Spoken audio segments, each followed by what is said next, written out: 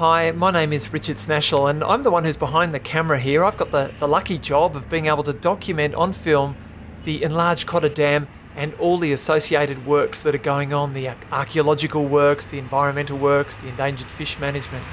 So, this is a bit of a view of the site.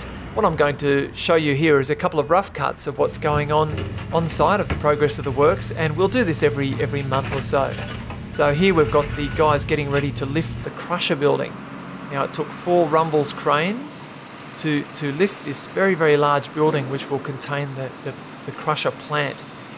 And of course, this was a very, very big job as far as safety went, but it was executed seamlessly, and, uh, and that's because there was a lot of planning that went into it.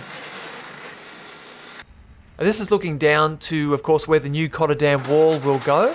Uh, the Cotter River usually flows along here, and some pipes are being brought in to this area which has been cleared.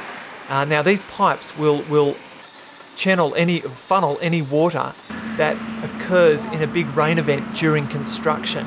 Obviously, of course, the, the management of these water issues is very, very important during the construction process. The old Cotter Dam wall there. There's a bit of work going on on the old Cotter Dam wall, installing some flashboarding. Now what we're seeing here is some of the environmental work. These guys are spraying a mix of grass seed and water, uh, non, uh, non-potable water I should point out, onto the embankments of the new haul roads that have been built. And now with all this lovely rain we've been having recently, that grass is beginning to sprout. some of the big boys, some of the uh, construction managers there out on site having a look at the works. Now we're looking over towards where the batch plant is going in.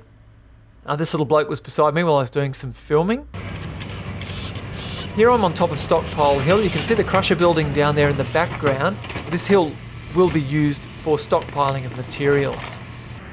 There's a view from the Brindabella Road of some of the new haul roads uh, being constructed and they're in operation. There's the looking up towards the batch plant, a bit of tree tree clearing. This is one of the great environmental stories of the project. Here we've got Dave Smith from Scope Landscaping. Dave's a bit of an expert when it comes to plants like the Xanthorrhoea. So this is the lovely ancient Xanthorrhoea plant, uh, which grows in the hardy sort of terrain around the Cotter. And these plants are hundreds of years old and they survived the two, 2003 bushfires. And what's happening is some of these Xanthorrhoeas are being relocated to the National Botanic Gardens. So that's a couple of guys there from the National Botanic Gardens and they're loading up their truck and taking these away um, because this site will become the batch plant site. And I always love picking up shots of animal and bird life that you might just come across. And here's a beautiful bird of prey soaring over the site. Anyway, we'll see you next time with some more progress shots of the works at the enlarged Cotter Dam.